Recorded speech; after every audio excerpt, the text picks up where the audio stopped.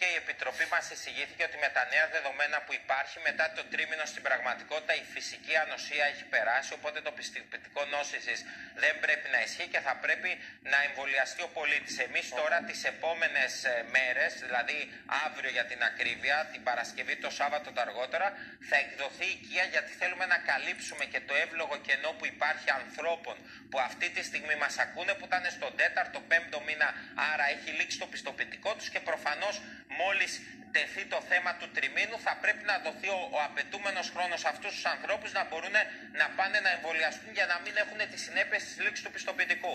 Άρα θα υπάρξει ένα μεταβατικό στάδιο να εμβολιαστούν οι Ενός συνάνθρωποι μήνα, μας κύριε και Υπουργέ. αντιστοίχως θα το δούμε αυτό ακριβώς τι είναι. Είμαστε σε συζήτηση γιατί αυτό είναι και λίγο επιχειρησιακό το θέμα. Καταλαβαίνετε, δηλαδή θα πρέπει αυτοί οι άνθρωποι να μπορούν να βρουν και το αντίστοιχο ραντεβού.